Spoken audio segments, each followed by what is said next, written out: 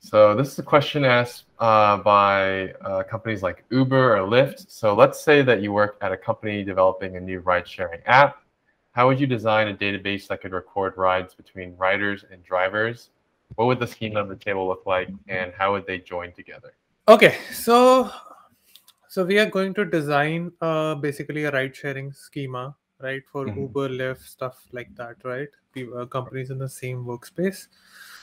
So one of the first follow-ups which I have is what is this going to be for? Is it like uh, analytical, analytics-based backend, or are we thinking it's going to be a, it's going to serve the website or the app? Which one is it? So I think it's going to serve the website and the app. Okay, so this is going to be backend of uh, of the app or the website. So when you have use cases like this, you essentially are optimizing generally for latency, right? hmm So that would be what should I say? The thing which we should be our North Star metric, if I may say so. So latency is what we should be optimizing for. Anything else which you think we should optimize for, or hmm, how to measure success? Yeah, um, I think you're right. Probably latency and then potentially analytics down the line, right? So we do care about probably getting stats, um, recording, you know, like the number of rides that each user has taken, stuff like that on the user. I don't know if you have any other ideas if you were Yeah. like, you know, building Uber. I think uh, obviously once you have once you have your website ready, you need to again uh, design a analytics backend, uh, whether it's a data warehouse or a data lake or a lake house, if I may say so. Mm. And then basically you use it for further machine learning, business analysis, and stuff, right? So um, once you have your front end, which powers your app, you need to get the data out. This is probably a secondary system. So say it's a data lake or a lake house system on which you will do analytics and machine learning. Gotcha. Makes sense? Okay. So I'll say going back. So we are designing a ride sharing schema. First thing is we need to power the website. So we need a, a system one or a table one, which will optimize for latency. Okay. Okay. And then uh, then we probably need another table, which will optimize for uh, analytics and machine learning. Okay.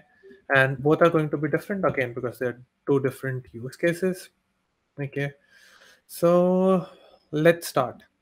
So for the table one, which we optimize for latency for, let's think about um, I I I'll give a data warehousing example because a lot of people have a data warehousing backend uh, background, so it's easy for them to relate to.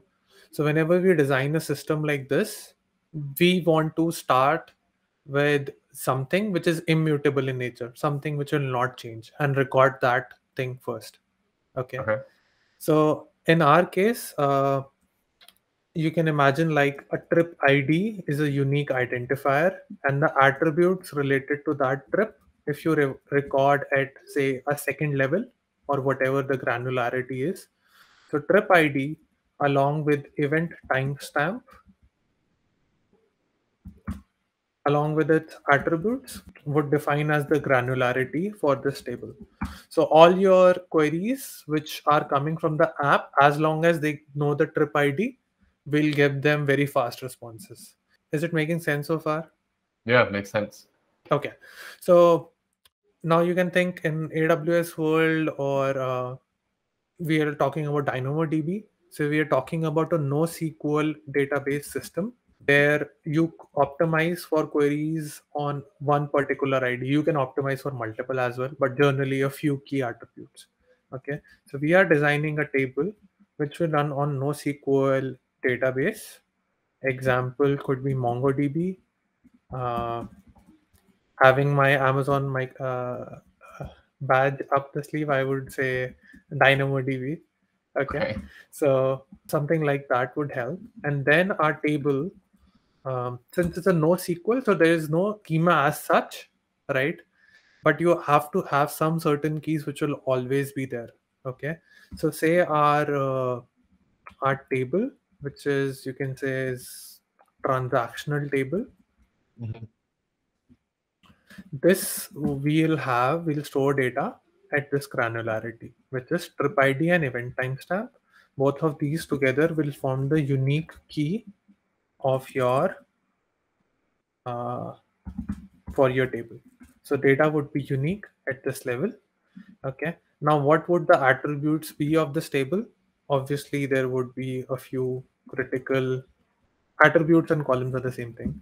So we could have like a rider ID, we could have uh, the driver ID, and these riders and driver IDs could be stored in different tables. You could also store like a few bare minimum attributes like the rider name and driver name in the same table as well so that you because in NoSQL databases you don't want to join two different things okay? You Mhm. want it to get from the same place. So you could have a few things which you know which will show on the trip in the same table rather than having in a different table. Now this is like depends very customer very use case specific things you could Okay. having all the rider attributes here or not is like debatable but i would say uh, whatever say you're taking an uber trip what's going to happen is you're every second probably you are going to send an entry to uber saying hey i this is the rider id this is the r- rider taking this trip this is the driver id this is driver name taking this trip this is the latitude uh, the car is at this is the longitude the car is at right? Yep. uh, maybe the average rating um, of the driver. Whatever you need to show on the app right? As long as there is a query coming from the app on the trip id and you sort it by the event timestamp then you you'll have everything. Well let me think of more attributes. And before we go any further, I guess, Mhm. what are the benefits of, I guess, NoSQL versus a regular relational SQL database in this case? So I guess uh, the biggest thing is uh, these relational databases. They are they are meant up to they work only at a certain scale. Okay, so if you're thinking of any traditional database, you they go to the size they can be. Like there are physical limitations on how much data you can store in them, Mhm. and they won't give you um, like DynamoDB if you optimize it very well. On any NoSQL system, you optimize it really well. It will give you single digit millisecond latency. So you could have 10 millisecond latency, which is very, very hard to achieve in a OLTP system or a okay. on a traditional relational system. So that's Right. why you need this. Now imagine so I guess this is the schema. To answer your question, what would the schema be? It would be hey, you'll have a transactional table which will have a trip ID, the event timestamp, driver ID, right, uh, writer name, driver ID, driver name, latitude, longitude, and uh, average rating along with some other you know attributes which you may feel are important. Whatever you need to show on the ui that's it. That you can include all that. And then you can have two more tables which could be you know a rider table and then you could have a driver table you could have a car table also right Okay. uh, like the vehicle table. That being said uh, and you know those can store as many attribute as you want but ideally this is going to be your main table. This is going to serve your website. This is going to serve everything. So yeah these exist maybe for other use cases like once you're logging in if you're targeting the backend of a user profile or if you're targeting the backend of a driver profile or if you're targeting the backend of a vehicle profile those things can be here or there the latency uh, would be very easy to achieve because the volume wouldn't be much right? Like how many drivers will you have? Less than Yeah. a billion right? Or how many riders or vehicles you have? So uh, the schema design over here is very easy right? This is the one which needs to be well thought of and architected right? That makes sense. Yep. okay. Now let me add some more practicality to this. Okay uh, Mhm. which is that a simple schema like this would work, but realistically, um, you would have regionalized tables. That is, say, if you are running Uber in US or if you're running Uber in Canada, right? Yep. Then you don't need to share the same table, right? Because your ride is specific to that country right now Gotcha.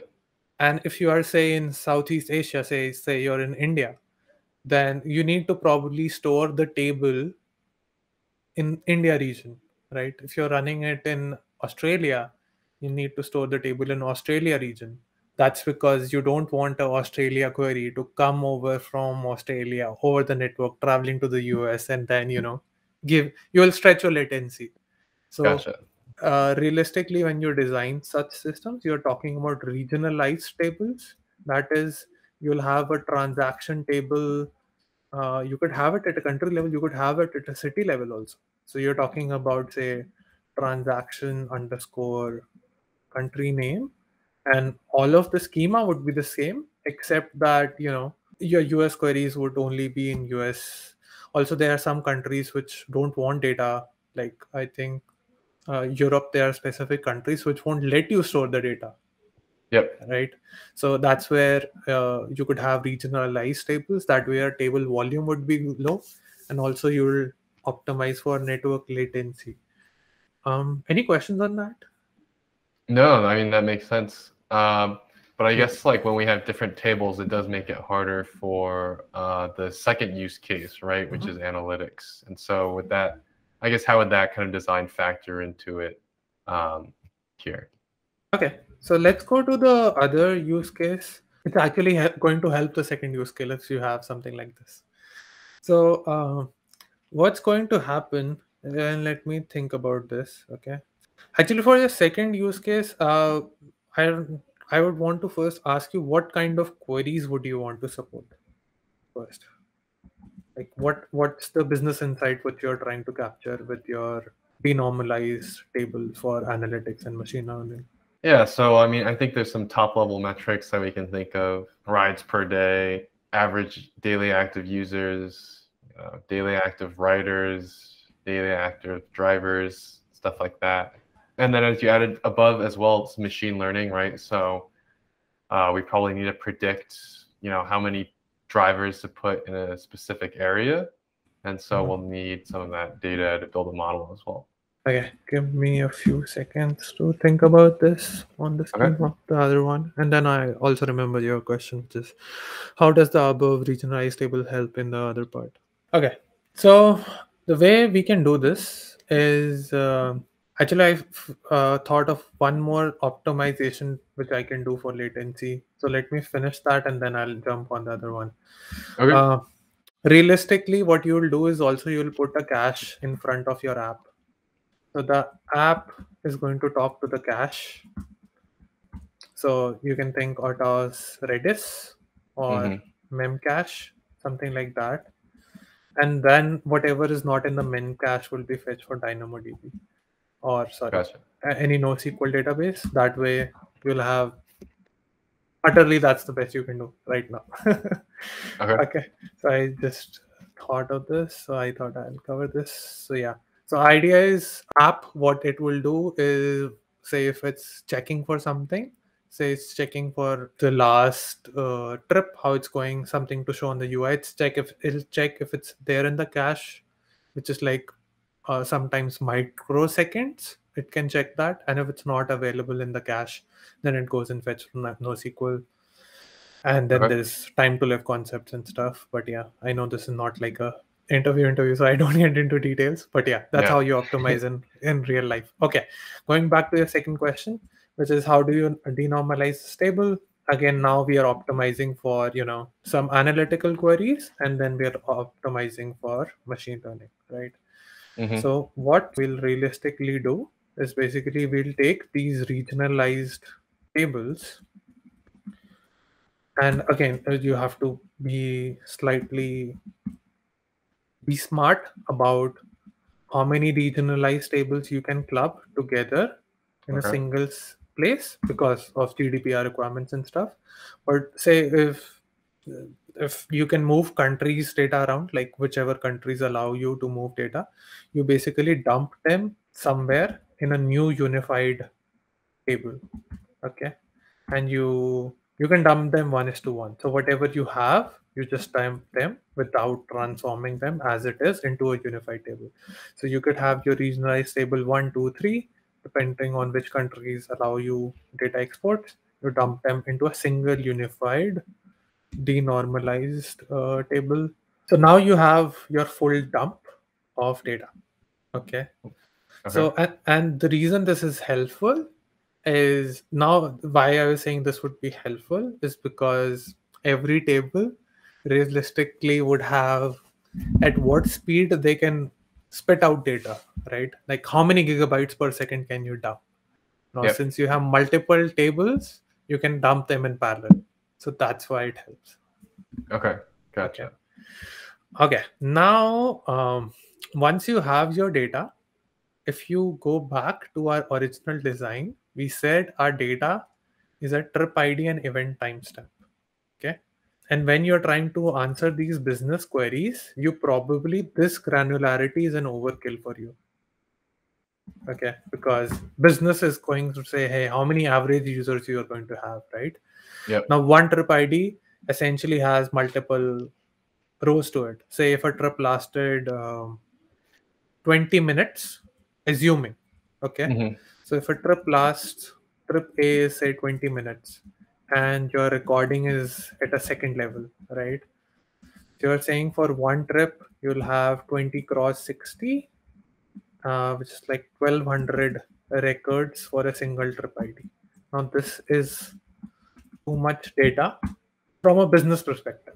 Okay, so what you will do is you'll take your unified denormalized table one, and then what you're going to do is for each trip ID, create uh, your denormalized table two, where you'll take n rows and bring it to a business granularity. So that's why I asked you, you know, what metric are you optimizing for? Yep. So what you're going to do is you're going to create your denormalized table two, whose unique key would be the business key which makes sense for the business. Let's say trip ID is that key. Okay. And here now you can think in terms of data warehouse, like all the concepts which you will apply in a data warehouse, you can use this here that which where we talk about dimensions and facts. Dimensions are things you want to measure about. So say you're trying to measure about users, you could have a user table, you could have a customer table, you could have a sorry customer rider, the same thing. So you could have a rider table, you could have you know your vehicle table, stuff like that, and Mhm. then there is fact, right? So you need to ask as many business questions as you can to figure out what things are we trying to measure about? Say are we trying to measure about users riders vehicle? You will also have your date dimension. That's a pretty important table uh, Mhm. in data warehousing. So you'll have your date dimension. So yeah. And then fact is something which is immutable. Some what can what will not change about it right? Yeah. what will not change about the business? So generally i would say there are two fact tables or at least you'll need two fact tables. One is a transaction right? Or say payment. Let's say payment right? Let's say there's a payment fact table and then we could have our trip fact table right? And this trip fact table we will we can make an assumption. Stores out of say our example of 1200 records it just records the last thing which happened okay so the most recent record of the trip we'll store here um, is it making sense so far Yeah. So Mhm. I'm understanding correctly. So we have our specific dimensions. We have, you know, other things like payments and trips. Mhm. And we're looking at the most recent record. Mhm. So I guess specifically then, um, once we've put it all together, I guess what does our schema kind of look like here? Sure. So first thing I usually ask people to do is what's the unique key of this table? This is very important to understand when you Mhm. make any table because that defines the granularity, right? Okay. So trip ID would be our unique key, right? And then think on how can you partition this table, right? Because to scale something like an Uber, you have to be very smart about how you partition it. Okay. Okay. Now there are some practical limitations also, which I'll talk about, but things like trips always happen on a certain day, right? So Mhm. you can probably partition this table on a start date. You could also partition this on start date and origin city, right? Yep. Because these are immutable, like start date of a trip won't change, the origin city won't change. If you just take city, that might change. Someone would might be traveling interstate or inter countries or something like that, right? Gotcha. So these are the two main factors about our say denormalized trips table. What else? So you want to uh, now sort this table. So you're going you need to define the sort key or say the z order or the index and this is defined on how people query your table okay? So this is really dependent on based on customer queries which you expect which will happen okay? Um, okay what other now it's just schema right? So these are the important ones right? Uh, and after that you can have attributes like what we want to measure on. Let's say your questions was rides per day okay. So we have our trip id we have start date right? So we can just uh, do you want me to write the sql we just write the Sure. yeah. So say select star from trips and the idea is whenever you write a sql for a big table idea is that you shouldn't have to join more than one table. Or sorry the best is not to have a join at all. Okay. Idea is Mhm. How do you design a table where you don't have to join it with anything at all? Okay. Second is hey can i hit some partitions right? So if a business user is there who is responsible for some location right? So we can expect them to give a origin city or origin country filter. Let's say city. Say you run san francisco. You are the program manager for san francisco city right so you'll hopefully try to give like a filter for sf and then maybe you are interested uh, in say looking at one month data and say hopefully you'll give a start date between say current date and say current date minus 365 okay And I want to add. So, what is the uh, benefit of having a partition versus just normal attribute? Uh, imagine if you have a table at US level, right? What's going to happen if you give it, if you just hit an attribute, it has to scan the whole table. hmm If you have your ta- data partitioned by date, okay, and uh, or city or both, both is best. So what's going to happen is that it's not going to read the whole table. Say your data is like one gigabyte and San Francisco represents like 10 MB. Okay. So if you partition it by city, then it will know that I need, hey, I don't need to read this one gigabyte data set. I just need to scan one MB. So your query will run like this because it would know what to hit. Partitions are physical tables behind the scenes. It's just that the technology abstracts it away from the user.